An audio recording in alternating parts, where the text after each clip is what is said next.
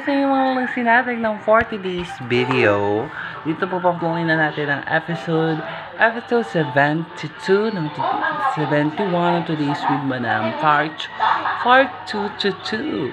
Okay, 40 days video ang gagawin natin diretso na agad-agad sa mga payo ni Madam Lucy sa kagandahan. Okay, maraming na kami sa akin sa pagbabalik ko sa aking YouTube channel. Maraming nagtatanong sa akin, ano po ba ang gamot kung nagka-allergy daw po kayo sa sabon sa kakalaban ng kakalaban. Ano po ang maaari nating paggawing protektahan para hindi po tayo magkaroon ng allergic sa, allergic sa kamay. Okay, mahapdi po tong allergic na sinasabi po ngayon. Ito po at nagkaroon din po ako kasi naglaba po ako kahapon. Pwede po kayo gumamit ng soda. Ang soda ay nakakapagbigay po yan ng um, nakakapagbigay po yan ng nakakapagbigay po yan na pagkaka-absorb po yan, ah, mag-a-absorb po yan ng mga hapde at sakit at kirot mula doon sa sugat.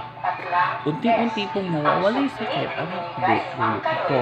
Pwede din po kayo pag wala po, pwede pag wala po kayo makitang soda, pwede din po kayo makabili ng lemon. Ang lemon naman po ay nakakapagbigay naman po ito ng, nag-absorb din po ito ng, ng sakit at kirot mula doon sa allergy na kukuha natin mula doon sa paglalaban natin na kung saan nagkakasugat ang ating mga kamay. Okay. Yun lang aking mga pahay dito sa mga pahay ni Madam Lucy sa kaganda.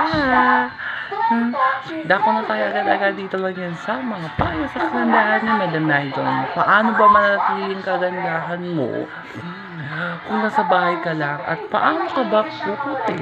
Siyempre mag-stay ka lang sa bahay para pumuti ka. Pero ano ang mabisang paraan para pumuti ka ng pumuti?